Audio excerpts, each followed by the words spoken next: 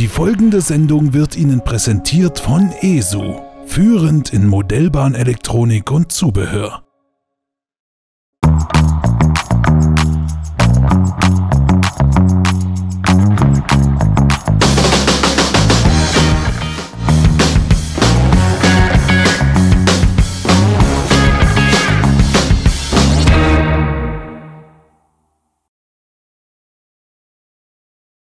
Willkommen, liebe Modellbahn und natürlich auch alle Modellbaufreunde von der Intermodellbau 2024 aus Dortmund.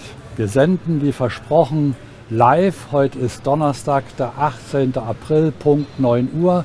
Die Messe hat gerade begonnen und apropos Messe, ich habe mal nachgelesen, es ist eine Schnapszahl, nämlich die 44. Hallo Jürgen. Hallo lieber Frank. Wie lange bist du schon dabei? Wir sind tatsächlich seit dem Jahr 2000 als Aussteller mit dabei. Und weil es ja einmal ausfiel, ist das somit unsere 23. Messebeteiligung, wenn ich mich nicht verrechne. Also bist du reichlich die Hälfte schon immer dabei. Ja, das mag wohl so sein. Und äh, ich freue mich noch auf viele mehr Messen, die dann noch kommen werden. Da freuen wir uns natürlich auch alle. Und Sie sind jetzt sicherlich zu Hause alle gespannt, was Jürgen uns heute hier vorstellen wird an Neuheiten. Das Einzige, was ich Ihnen jetzt schon versprechen kann, es wird ganz anders, als Sie es gewohnt sind. Ja, das stimmt, lieber Frank. Wir wollen dieses Mal tatsächlich ein bisschen mehr über die Technik reden, weil ESO Electronic Solutions Ulm ist ja auch eine Firma für Digitaltechnik. Und äh, wir haben dieses Jahr auch äh, ganz bewusst uns sozusagen dafür entschieden, diese Sachen auch ein bisschen weiterzuentwickeln. Die Chip-Krise ist vorüber. Wir haben also auch mehr Produktionsmöglichkeiten und wollen auch letztendlich unseren Wurzeln da ein bisschen nochmal Nachdruck verleihen. Genau, aber eins kann ich Ihnen trotzdem versprechen, unabhängig davon, Sie sehen, wir beide lächeln, ein bisschen Fahrzeugmodelle bekommen Sie natürlich auch noch zu sehen. Aber natürlich, sonst, so, ansonsten ging es ja nicht bei dir. Alles klar. Du hattest ja im Februar, als wir die Neuheitenvorstellung gemacht haben, ja angekündigt, es gibt eine neue ECOS. Genau, eine äh, sozusagen gefaceliftete, überarbeitete Ecos, die Ecos 50220. Das ist äh, letztendlich eine aufgrund des technischen Fortschrittes überarbeitete Zentrale, wie ich auch im Februar-Video schon andeutete. Wir haben aber auch auf der Softwareseite einige Erweiterungen eingebaut, die, wie wir meinen, für viele äh, Modellbahnerinnen äh, interessant sein können. Und ich möchte einfach jetzt mal kurz zeigen, was da an neuen Funktionen in der ECOS so alles möglich sein wird. Das sind natürlich vor allen Dingen die ECOS-Fans und die, die es werden wollen, sicherlich schon sehr gespannt, denn ähm, das Gehäuse, sagen wir das, außenrum ist ja gleich geblieben. Ja, richtig. Das Gehäuse selber ist sehr gleich geblieben. Wir haben nur einen anderen Touchscreen eingebaut, der sich eben mit einem Finger ohne den Stift bedienen lässt. Und dann würde ich sagen, jetzt leg los, zeig, was die, die neue ECOS kann. Sehr gerne. Also wie schon erwähnt, die Ecos hat jetzt einen kapazitiven Touchscreen. Das bedeutet, ich kann den ohne Stift und auch ohne große Druck sozusagen Kraft einfach so bedienen, wie man es eben auch vom Mobiltelefon gewohnt ist. Da gibt es jetzt in der Software äh, eine erhebliche Erweiterung, was die Pendelzugsteuerungen angeht. Also wenn man im Menü jetzt hier die Pendelzugsteuerungen anwählt, habe ich hier schon mal ein paar angelegt. Mhm. Bisher war eine Pendelzugsteuerung eigentlich immer dazu gedacht, einen Zug von A nach B und wieder zurück zu pendeln, mit der Möglichkeit, auch ein paar Zwischenhalte einzubauen. Im Endeffekt haben wir das Ganze jetzt so ausgebaut, dass es sich eigentlich um eine halbe Automatiksteuerung handelt. Das bedeutet, ich kann jetzt hier nicht nur eine Aufenthaltsdauer festlegen, wie lange ein Zug eben in dem entsprechenden Bahnhof stehen bleibt. Ich kann auch eine sogenannte Einfahrtsverzögerung und Abfahrtsverzögerung einprogrammieren. Das bedeutet, ähm, man kann definieren, wann erst der Zug zum Bremsen anfängt, wenn er jetzt erkennt, oh, ich komme jetzt auf den Bahnhof zu. Das bedeutet, er kann dann nach der Erkennung noch ein Stück weiterfahren und dann erst zu bremsen anfangen. Das hat bestimmten Hintergrund, weil wir jetzt eben auch sogenannte neue Haltebedingungen eingeführt haben. Das bedeutet, ich kann jetzt definieren, was muss geschehen, damit ein Zug in so einem Pendelzugbahnhof überhaupt stehen bleiben kann. Bisher war als Kriterium nur möglich ein sogenannter Rückmeldekontakt. Das ist nach wie vor auch das Einfachste. Aber man kann jetzt eben auch als ähm, nicht nur einen Rückmelder nehmen, sondern auch die Stellung eines Schaltartikels, zum Beispiel die Stellung eines Signals, ob es rot oder grün ist. Ja, auch? Weiche natürlich Ja, auch. Das ja. ist natürlich auch genauso wichtig. Man könnte aber auch sagen, ich habe eine Lok-Kategorie. Das bedeutet, ich könnte sagen, oh, wenn ein Güterzug des Wegs kommt, dann bleib stehen. Und ein Personenzug fahrt durch, obwohl es natürlich echt genau anders und sinnvoller wäre. Ja. Ähm, das kann ich also auch definieren. Und, eine, und ein Zufall. Genau, ich kann also auch sagen, äh, mit einer gewissen Wahrscheinlichkeit kann ich sagen, ähm, wenn jetzt das Ganze sozusagen eintritt, diese Bedingung, dann kann ich eben noch einen Würfel schmeißen und sagen, nur wenn der Würfel eine bestimmte Augenzeit zeigt, dann bleib auch wirklich stehen, ansonsten fahrt durch. Das Ganze ist, wie man sieht, eigentlich nicht nur für Pendelzugsteuerung gedacht, sondern letztendlich von Art Schattenbahnhofsteuerung oder Automatik betrieben. Ich kann hier eben auch bis zu acht Einzelbedingungen sozusagen verknüpfen. Alle Schaltbedingungen sind unverknüpft. Damit kann ich zum Beispiel sagen, wenn mein Einfahrtsgleis geschaltet ist und mein Einfahrtssignal entsprechend, äh, Signal eine entsprechende Stellung zeigt, dann nur fahr mir in den Bahnhof ein und bleib stehen. Ja. Und wenn man solche komplexen Einfahrtsbedingungen hat, braucht es natürlich auch zur Abfahrt eben Bedingungen. Das haben wir auch einprogrammiert. Das bedeutet nochmal, ich kann dieselben Bedingungsketten nochmal für äh, das Weiter- oder wieder losfahren definieren, wenn ich es denn möchte. Im einfachsten Fall brauche ich keine Abfahrtsbedingung, sondern ähm, mache eine Zeitsteuerung. Weil, ja, genau. Mit Hilfe dieser erweiterten Pendelzugsteuerung, man müsste sie eigentlich eher Automatikbetriebssteuerung nennen, ähm, kann ich tatsächlich auch einfachere ähm, ja, Schattenbahnhofsteuerungen machen oder einen relativ lebendigen Ablauf auf meiner Anlage gestalten. Ich kann jetzt zum Beispiel auch Rundfahrten machen. Ich, wir sagen da auch immer ähm, Schaufenstermodus. Also klassisch, die Lok fährt um einen Christbaum drumherum und bleibt ein paar Mal stehen. Solche Sachen kann ich machen. Ich kann aber auch pendeln im Sinne von ähm, drei, Zü drei Züge ähm, teilen sich ein Gleis, also Gleisharfe, eingleisig, wieder Gleisharfe. Alle solche Geschichten sind denkbar. Ähm, Frage wäre jetzt noch von mir, wie viele Züge, also eine Pendelzugsteuerung ist ja nicht nur für einen Zug gedacht. Ich kann also, wie viele Züge kann ich dann eigentlich hier einprogrammieren? Also wir können im Moment äh, 16 Pendelzugstrecken definieren. 16. Ja, das ist momentan einfach sozusagen ein Limit äh, geschuldet. Wir könnten theoretisch auch mehr machen, aber wir haben es noch nicht mit mehr ausprobiert. Okay. Aber Wie viel- 16 Züge sind ja auch schon eine Menge 16 Holz. Züge sind tatsächlich für eine mittlere äh, Anlage auch schon nicht gerade wenig. Also da kommt man schon weit. Und ähm, jede von diesen Pendelzugstrecken hat natürlich eben diese unterschiedlichen Einzelbedingungen. Das ist also eine große Aspekt, was wir noch eingebaut haben in die ECOS. Darüber hinaus haben wir das Angebot an Lokbildern erweitert und wir haben auch die äh, Mehrfachtraktionssteuerungen etwas verbessert, damit man schneller von einer Lok zur nächsten wechseln kann. Okay. Äh, die Logbilder beziehungsweise alles, was man um die Ecos wissen muss, kann man ja auch auf den Webseiten nochmal nachlesen. Natürlich. Und was das Schöne ist, wer eine, das Vorgängermodell hat, der Ecos, kann also auch auf die neue Ecos sozusagen vom, von der Software updaten. Das stimmt. Also was ich jetzt gerade erklärt habe, äh, wird in Form eines Software-Updates ab Ende April für alle zur Verfügung stehen. Nicht nur für dieses neue Mhm. Ja, Gerät, ja. sondern auch für das Vorgängergerät mit dem Farbdisplay, Mhm. als auch noch die ganz alten Geräte mit dem Schwarz-Weiß-Display. Also das ist ja unsere Philosophie, dass wir Software-Updates immer allen Zentralen zur Verfügung stellen und sogar kostenfrei. Und äh, Frage wäre jetzt, du sprachst ja gerade eine ganz alte oder die erste Ecos an, die noch etwas eirig war. Kann das sein mit dem Regler in der Mitte? Eine Regel in der Mitte hatten wir nie. Nein, nie. Nein. Gut, dann habe ich das etwas verwechselt. Wir hatten immer zwei Regler. Der Mensch hat zwei Hände, also braucht er zwei Regler. Also die erste Ecos verträgt also genau dieses Update Ja. wie die Nachfolgemodelle. Ganz genau. Gut. So, dann gibt es ja noch was Neues dazu. Ja, wir haben natürlich noch mehr Software-Updates gemacht. Und zwar geht es hier um unser Cap Control Digitalsystem. Da müsstest du mir jetzt schnell mal assistieren und das ja, Mikrofon. mache ich gerne. Das Cap Control selber besteht eben aus einem Handregler, dem sogenannten Mobile Control Regler. Ja. So. Da habe ich jetzt den Vorführeffekt. ja.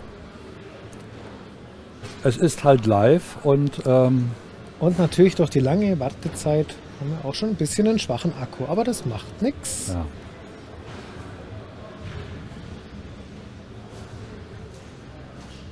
Das dauert einen kleinen Moment, bis wir. So ist das halt mit der Technik, nicht Jürgen? Der Vorführeffekt ist immer der beste. Jetzt mag er. Jetzt mag er mich. Aber ich denke, hier in der Halle, liebe Freunde, Sie können sich das sicherlich ganz gut vorstellen. Jetzt haben wir was, jetzt haben wir ein Bild. Genau. Ja. Also der Mobile Control 2 Handregel, den gibt es ja schon einige Zeit. ja, Äh, der basiert auf dem Android-Betriebssystem, was man hier auch sehen kann. Also ich kann hier auch sowas wie eine Tagesschau-App drauf machen oder alle anderen Apps, die man aus dem App Store eben runterladen kann. ja.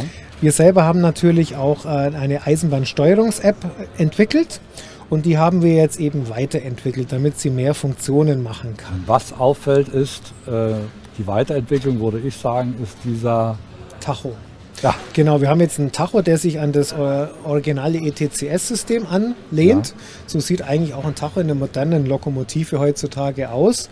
Im Großen und Ganzen ein paar Änderungen und Vereinfachungen mussten wir natürlich machen. In dem Moment wird das ähm, Mobile Control hat sich jetzt verbunden mit der Command Station, der sogenannten ICU Cap Control.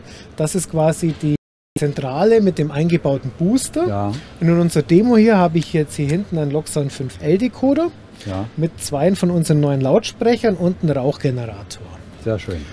Ich muss doch kurz was dazwischen fragen, weil ich würde jetzt als Modellbahner fragen, ich sehe ja auf dem Display jetzt nur die Fahrstufen. Genau, man kann natürlich auch umschalten, was ich dir nachher zeigen werde, zwischen Fahrstufen und kmh. Das wäre die Frage. Das gewesen, Entscheidende und was auch die große Erweiterung ist, die gelbe Nadel und die Ziffer in der Mitte zeigt an die gewünschte Geschwindigkeit, also unsere DCC bzw. Ähm, Ja. Motorola oder MFX Fahrstufen. Das heißt, wenn ich jetzt hier die Geschwindigkeit nach oben drehe, sieht man hier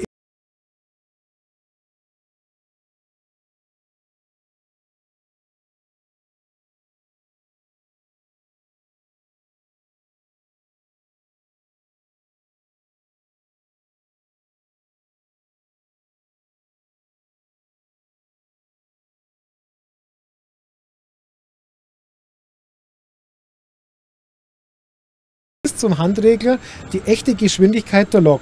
Wenn ich jetzt hier den Motor mal versuche zu bremsen mit der Hand, Ja, ja dann man sieht man es, sofort, Ja, wenn ich den jetzt auf Null runterbremse, dann geht natürlich auch meine Geschwindigkeit mit runter. Und äh, damit kann ich immer kontrollieren, wie schnell meine Lok ist, ob sie gerade bremst oder ob sie gerade beschleunigt.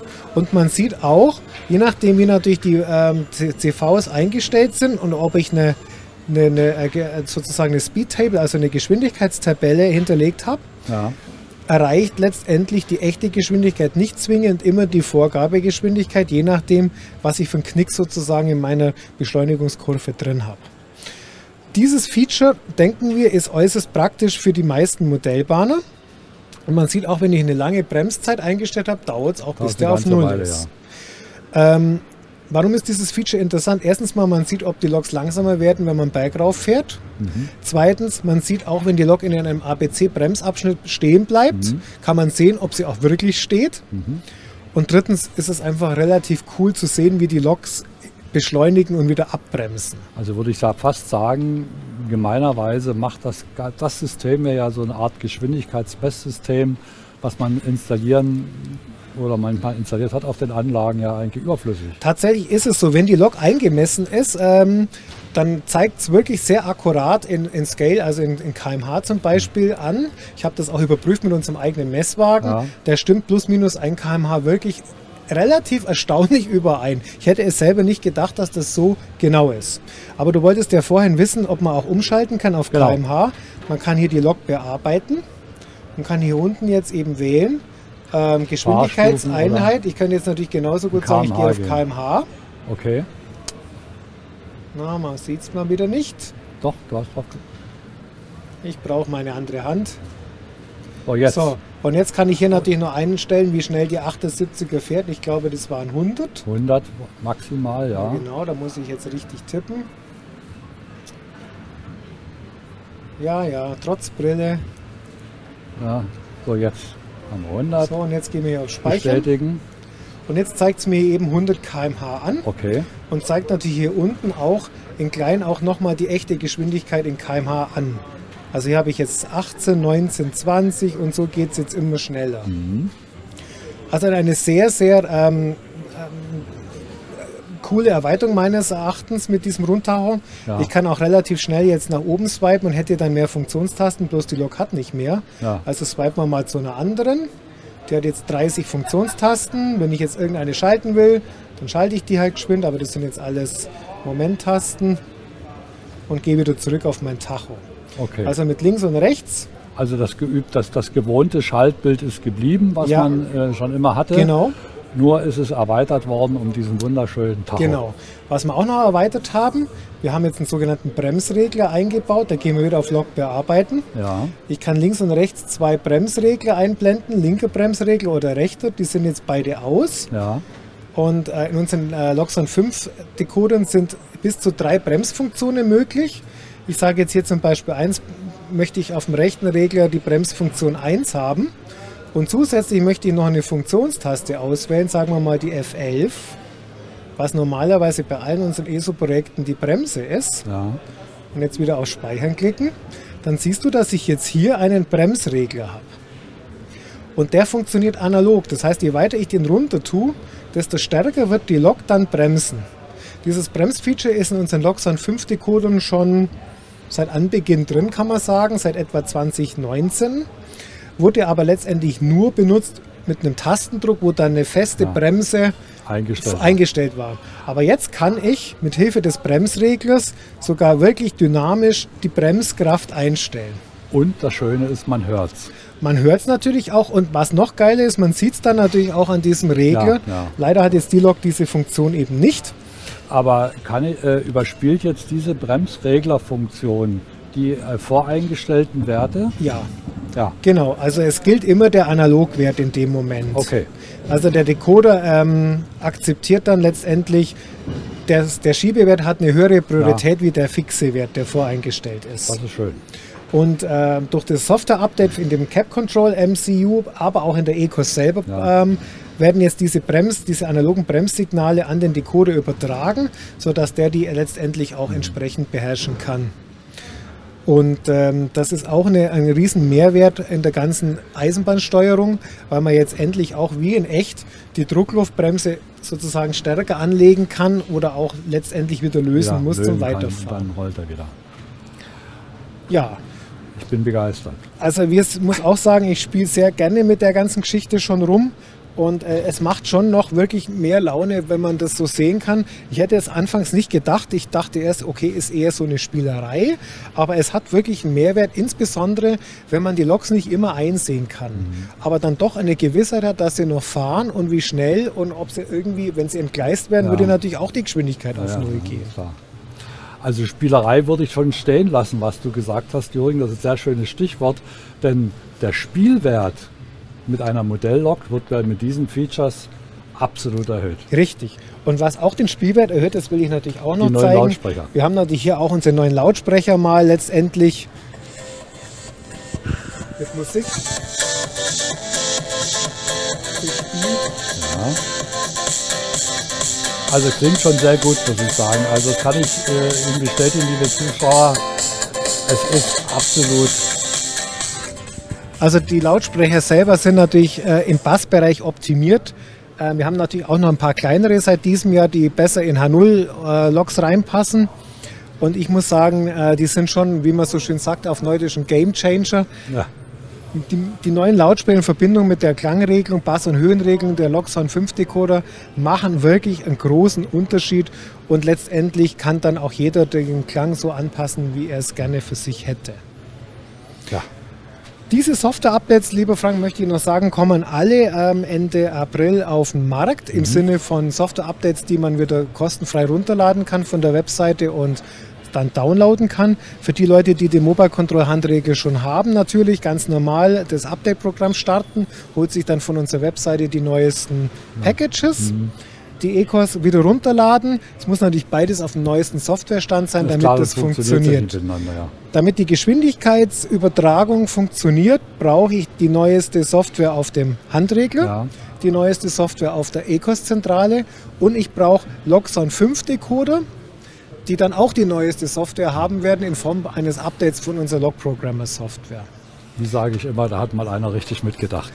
Es ist tatsächlich schon so, dass wir wirklich viel updaten müssen, ähm, aber es funktioniert auch alles jetzt. Mhm. Wir nutzen die Messe jetzt eben auch noch zu einem letzten Test und äh, haben natürlich auch ein paar Beta-Tester am Start, die das auch nochmal alles durchtesten. Mhm.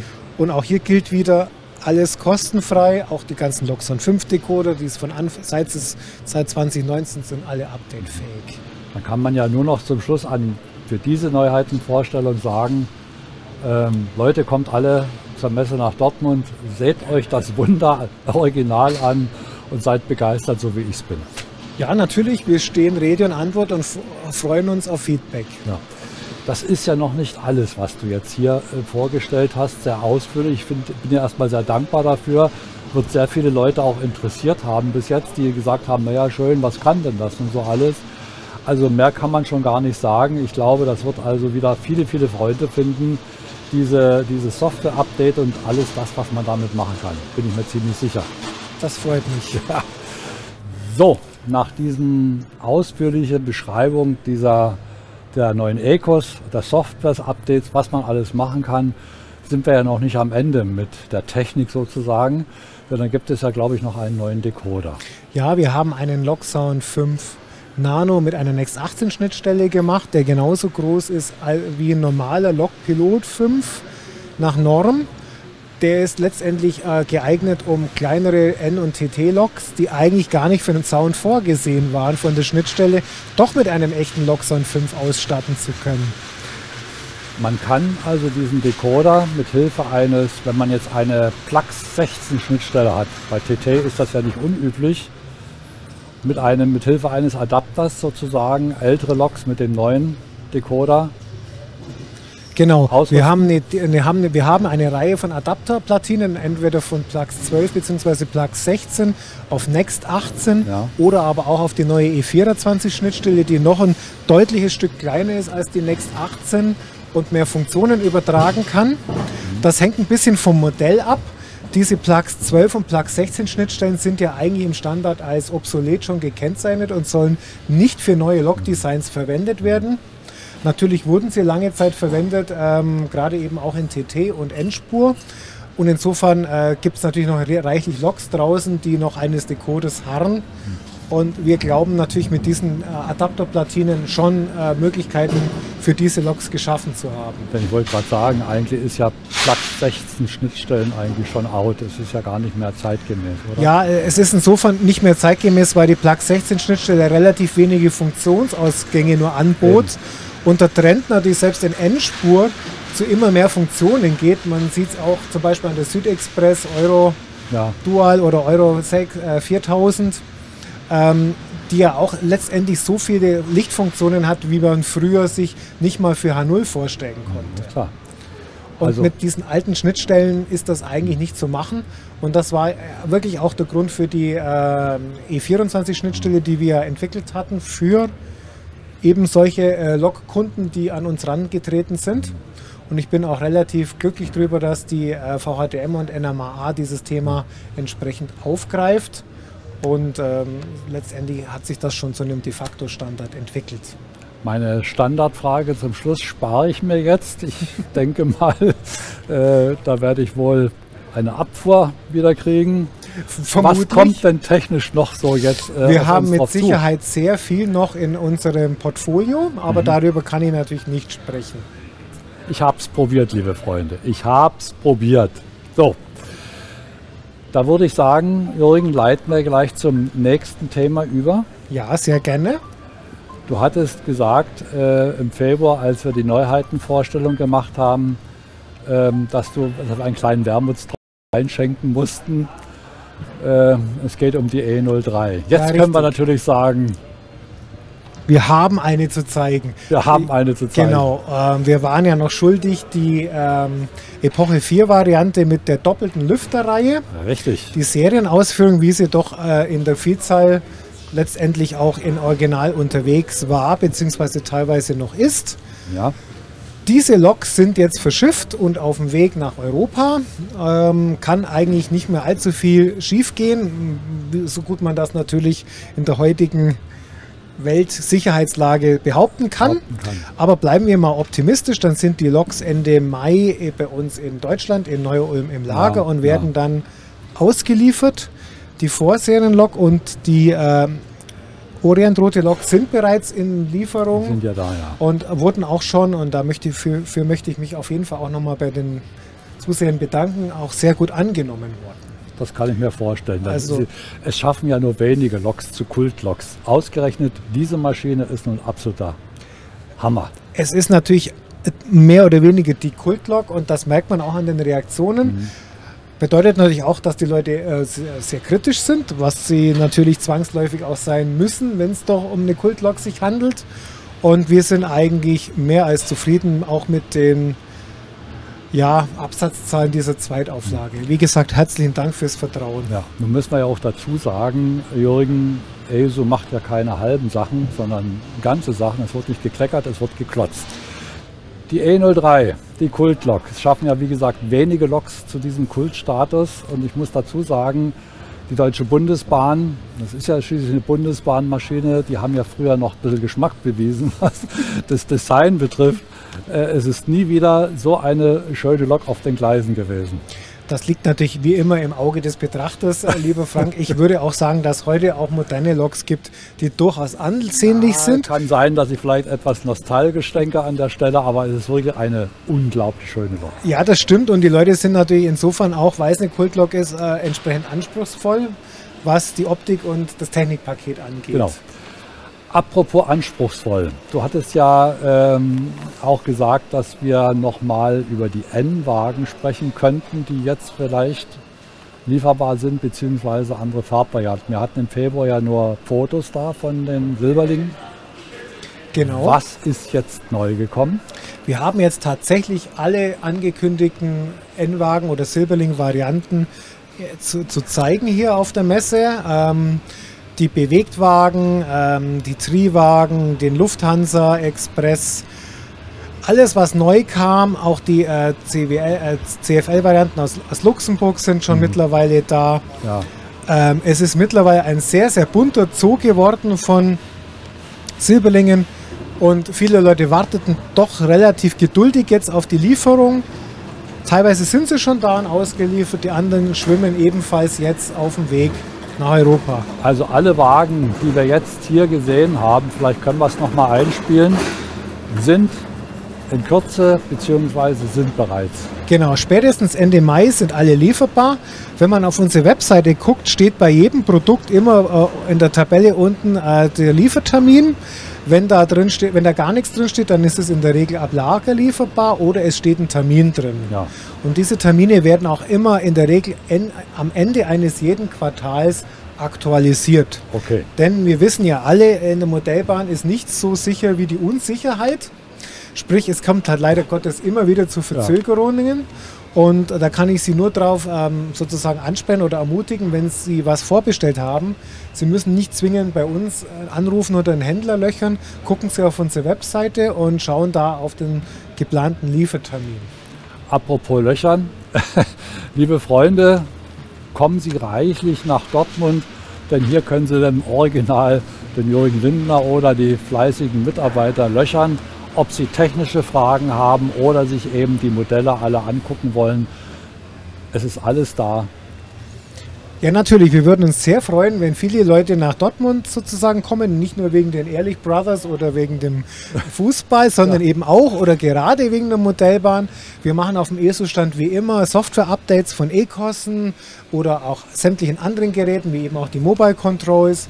Wir überprüfen gerne Lokomotiven oder Decoder, sofern es uns halt möglich ist. Und wir versuchen natürlich mit Rat und Tat zu, ähm, da zu sein oder letztendlich können Sie eigentlich auch alles hier angucken, was wir haben. Also, Also- wir beißen nicht. Also kommen Sie alle reichlich nach Dortmund, liebe Freunde, bis Sonntag, dem 21. April. Ist die Messe ja noch offen. Schnappen sich Ihre Ecos, schnappen sich Ihren Handregler. Sie haben es gerade gehört, das Angebot. Sie kriegen das Update auch hier gemacht, wenn Sie es sich selbst zutrauen. Und nebenbei können Sie auch noch mal mit den Experten hier sprechen und sich auch die wunderschönen Modelle von ESO anschauen. Und auch halt die wunderschöne Eckanlage, Vorführanlage ist auch da. Auch da fahren Lokomotiven. Also Herz, was willst du mehr? ich hoffe, das passt für alle. Ja. In dem Sinne, liebe Freunde, das war's für die erste Live-Übertragung. Der erste Livestream ist jetzt wiederum schon wieder fast Geschichte. Mir bleibt nur noch, mich von dir zu verabschieden, lieber Jürgen. Vielen Dank, dass du uns das alles erklärt hast. Mal eine ganz andere Sendung, kein Modellfeuerwerk, liebe Freunde, sondern einfach mehr ein Technikfeuerwerk. Aber es war genauso höchst interessant. Vielen Dank. Ich habe zu danken, lieber Frank. Viel Spaß noch. Ja, werden wir haben. So, liebe Freunde, wir ziehen weiter mit, unseren, mit unserer Technik zum nächsten Übertragungspunkt. Bleiben Sie also gespannt. Ich glaube, Tillich waren die nächsten. Also bis dann.